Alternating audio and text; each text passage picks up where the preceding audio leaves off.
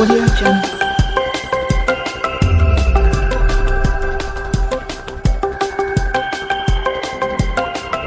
Audio Jungle. 五月二十八日，美国华人联合总会第七届就职典礼在圣盖布希尔顿酒店盛大举行。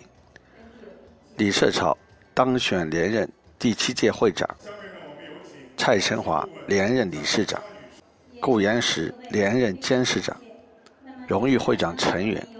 荣誉会长兼基金会主席王建美，新一届领导班子宣布上任。今天是美国华人联合总会第七届就职典礼，那大家也在为了筹备这个工作付出了很多。那这一次呢，第七届呢是一个新的团队，这个新的团队呢展示了一个包容、传承以及和谐的这么一个团队。我们也希望在第七届能带领美华总走得更远，走得更高。中国驻洛杉矶总领事馆刘健大使及夫人，美国国会议员赵美心，国会议员刘云平，洛杉矶县政委员开林巴格，加州众议员周本利的代表，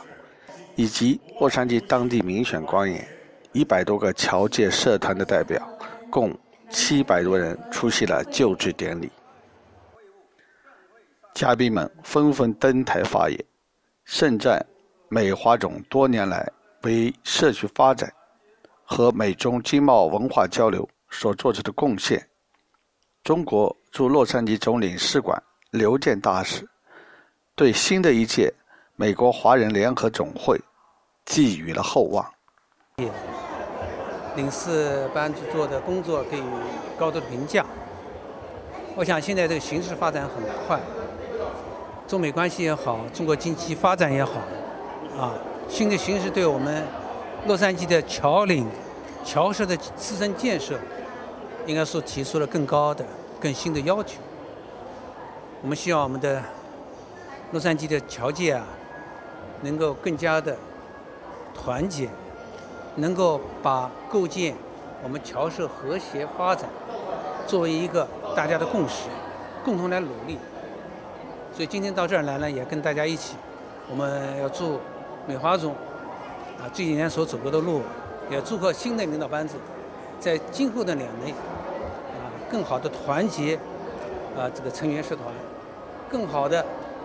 改进自己的会务啊，不断的与时俱进。同时呢，也同我们洛杉矶其他的兄弟侨团一起共谋发展，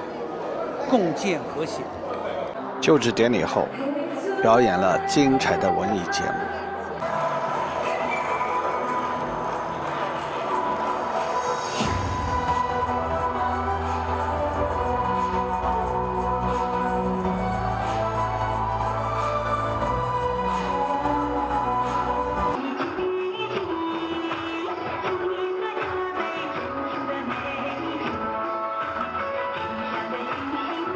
这是全美电视台记者发自洛杉矶圣盖博的报道。